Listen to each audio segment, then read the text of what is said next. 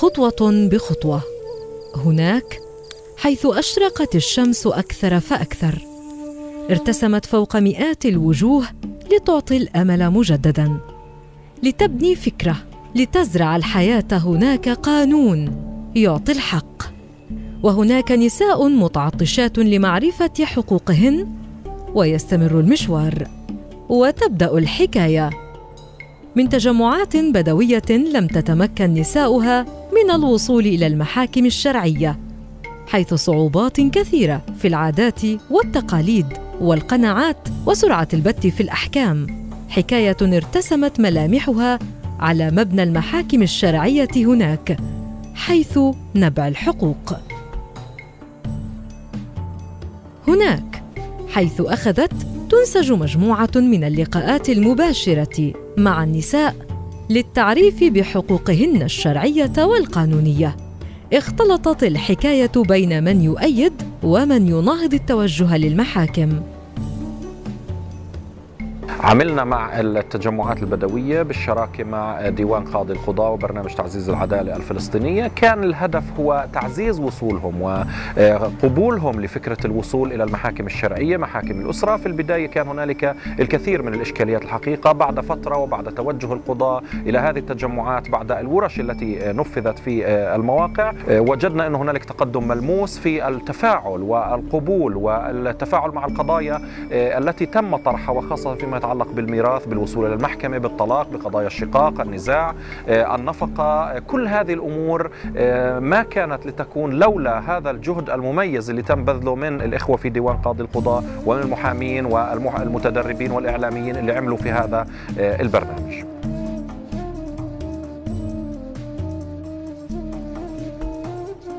فعلا المجتمعات الريفية والمجتمعات البدوية من أهم الفئات اللي بنعتبرها مهمشة وضعيفة ولها صعوبة في الوصول إلى العدالة.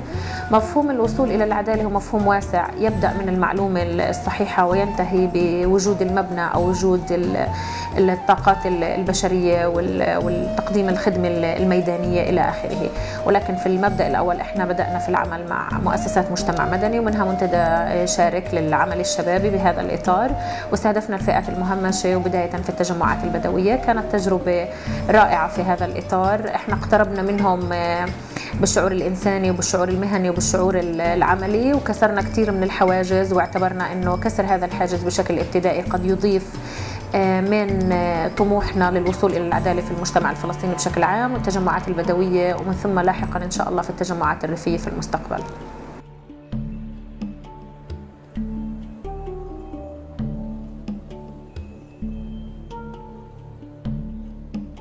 هذا الشرع إحنا ما بنقول فيه شيء. هذا لل... للجواز والطلاق والشقاق والنفاق هذا لهالمحكمه الشرعية. إحنا بصرح لي البدو ناخذ كفيل على الطرف هذا وكفيل على الطرف هذا والكل يشرح وسطه وقاعد هذه بنحلهم قضيتهم فيها. القضاء العشائري يعني هو سند للقضاء الشرعي كحل قضايا بدون المحاكم يعني بحل قضايا بيصلوا المحكمة الشرعية متعارفين متكافلين على إنه آه، ينهوا الخلاف أو النزاع اللي صاير بين الطرفين.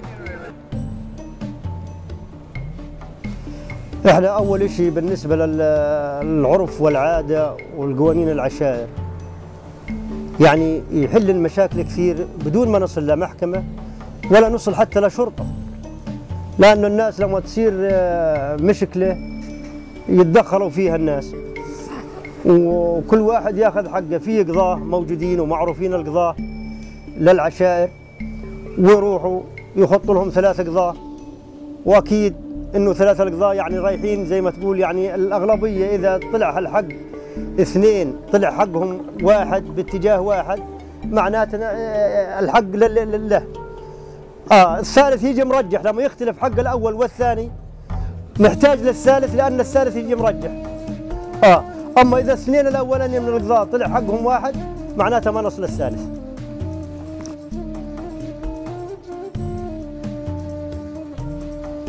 إيه، أنا بعرف واحدة راحت على المحكمة الشرعية.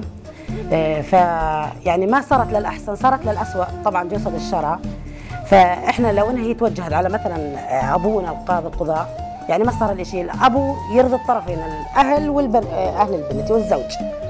فهذا الإشي إحنا يعني ما في إشي زعليا أو إشي حرجيا فيش حرج في الدين يعني. لما أنا مثلا عندي هذا الشخص ليش أتوجه للشرطة؟ ليش أعمل مشاكل أكبر يعني؟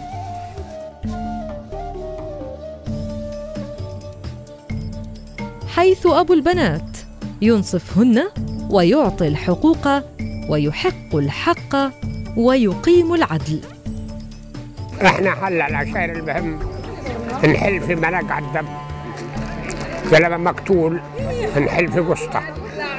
واحد قصة عرض وجاء عندنا نحل في قسطة. واحد مقصر في حق جوزته وجاء عندنا نعدل حقها له. إحنا كبدو آه، كل اعتمادنا على القضاء العشائري. بس لو اختلفنا في القضاء العشائري نرجع للقضاء الشرعي. لا غنى للقضاء الشرعي عن إخوان البدو ولا غنى لإخواننا البدو عن القضاء الشرعي. فالمحاكم الشرعية مفتوحة للجميع ونظرتنا في المحاكم الشرعية هي تعزيز صمود المواطنين وخاصة في منطقة الأغوار ومنطقة البدو. من أجل الوصول إليهم. وهناك كثير من عقود الزواج يجريها إخواننا البدو بسبب بعدهم عن مراكز المدن وصعوبة المواصلات والاتصالات عنهم لطبيعتهم طبيعتهم الاجتماعية والتكوينية. فيكون بإجراء بعض العقود دون رجوع إلى المأذون الشرعي أو المحاكم الشرعية. وبعد مدة بعد أن تحمل المرأة أو يعني يحصل هناك ذرية وأولاد وبنات ويذهب إلى أحد الدوائر الرسمية في المحافظة. فلا يكون هناك عقد زواج فيصطدموا هناك ثم يعودوا ليرجعوا إلى توثيق هذا الزواج وتكون المحاكم الشرعية بعمل إقرار بزواج لهم أو عمل مصادقة زوجية. والقاضي الشرعي يحولهم إلى النيابة أو يدفعهم غرامة من باب أن هناك خصوصية لإخواننا البدو كما كنا في البداية وبعدهم عن المحاكم الشرعية. لكن هناك علاقة وطيدة وعلاقة إيجابية متطورة دائما.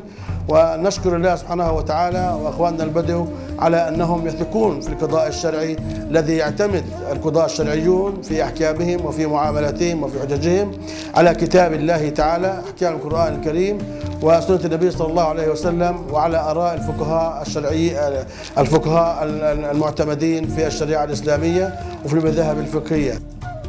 ضروري جدا كمان إنه الناس تكون على علم وعلى دراية على آه، بأمور القانون والامور الشرع آه، ويكون آه، ينتموا ويتعاملوا مع مع الشرع لأنه من عبد الله على جهاله كانه ما عبده. فلذلك ضروري جدا إنه كل مواطن صغير أو كبير إنه يكون على علم ودراية قدر المستطاع بأمور شرعه.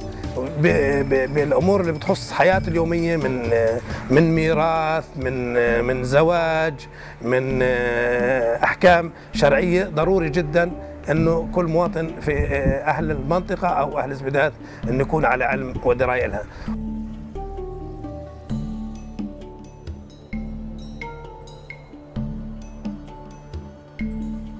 القضاء العشائري أقرب يعني وأقل أقل آه، زي ما تقول آه، بدال ما تروح على المحكمة وترجع تروح وترجع يعني بأجل الجلسات.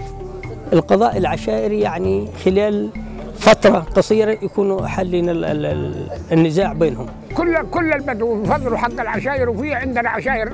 بعدين إحنا الحق بيصير عند العشائر يخلص في خلال جمع يعني خلال جمع نخلصه فالمحكمة لو يصير عليك قصة تقعد سنة وانت اجلوا فيك من محامي ومأجل وسنه إحنا نحل لك في خلال 10 أيام 15 يوم تكون قصتك حاله أسرع يعني أسرع من الشرطة والمحاكم وكل شهر تعالي وترجعيش يعني أسرع. يعني فتره في قاعدة واحدة نكون مخلصين هذه الأمور وراضيين. اللي تنحل عشائريا أحسن. ما تروحش للمحاكم الكل يعرف فيها والكل يدري فيها. لأن تعرف شغلة الجيزة والجواز هذه ما بدهاش يعني شهرة يعني بدها تنحل ودي بيكون أحسن يعني بين الأهل العروس وأهل العريس. إحنا ك... عندنا قانون صارم يعني كبدو. يعني مش بس علي أنا الحالي لا على الجميع. ان ممنوع نروح على محاكم. في عنا أبو عنا أبو ياخذ الحق ويقضي لنا حاجاتنا. يعني مش محتاجين للمحكمة ولا للشرطة طالما إنهم معطينا القانون تبعنا.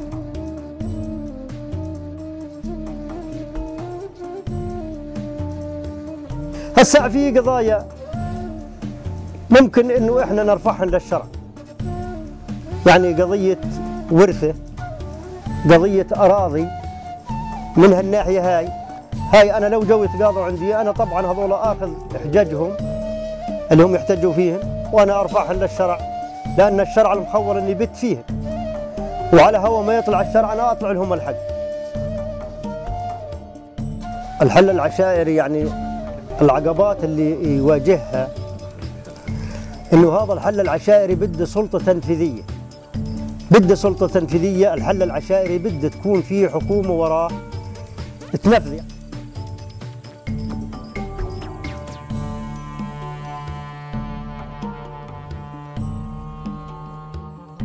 الوضع الاجتماعي الذي تعيشه المرأة البدوية بل والمرأة في القرية وفي الأرياف هناك خجل لا تطالب بميراثها يكون من المجتمع نفسه أو من والديها أو من إخوتها. يعني الأم بتقول لبنتها بدك تكاثر زي إخوانك بتجيبي واحد غريب يأخذ ميراث أبوك.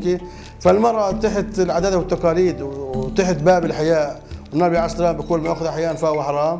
فتقوم بالتوقيع لإخوانها على تخارج أو أو بيع أو يقوم الأب في حال حياته بحرمان ابنته من هذا الميراث تسجيل باسم أبنائه الذكور. وعند كبره وعند عجزه وقبل موته يتركها أولاده كل منهم يكون مع زوجته ومع أسرته ويعيش حياته.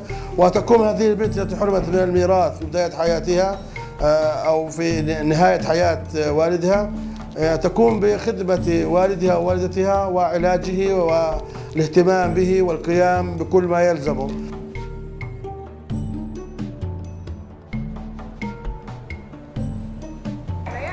يمتلك المحامين والمحاميات اللي عملوا في هذا البرنامج مهارات مكنتهم من إدارة حوارات ونقاشات عملية وموضوعية مع السيدات والمختير وممثلي هذه التجمعات. كان لها أثر كبير في تقديم آه، هذه القضايا بشكل علمي وموضوعي. كان هنالك تجاوب وفتح آفاق جديدة للحوار. أنا بعتقد أنه هذا البرنامج قدم الكثير آه، خلال المرحلة القادمة. ليكون هنالك نقاشات إيجابية يتم البناء عليها فيما يتعلق بالوصول إلى المحاكم الشرعية.